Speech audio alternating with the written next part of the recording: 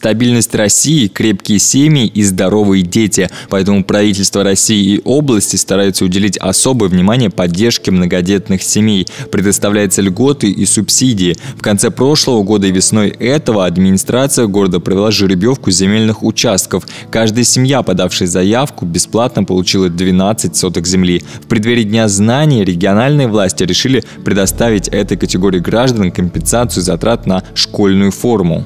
В соответствии с постановлением правительства Московской области от 8 августа было установлено, что предоставление частичной компенсации стоимости школьной формы будет предоставляться каждому ребенку из многодетной семьи один раз в год. А стоимость такой компенсации не превышает 3000 рублей, но по фактически произведенным затратам на приобретение школьной формы. А, такая поддержка будет оказываться в виде перечислений на лицевые счета многодетным. А, услугу государственную можно получить как через управление социальной защиты населения, так и через наш многофункциональный центр.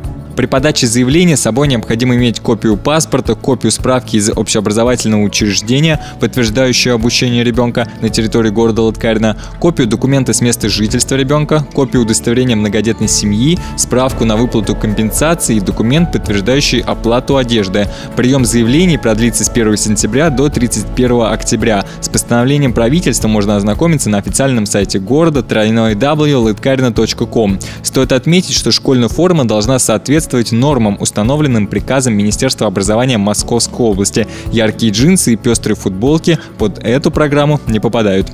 Максим Морозов, Александр Тестов. Новости Латкарина.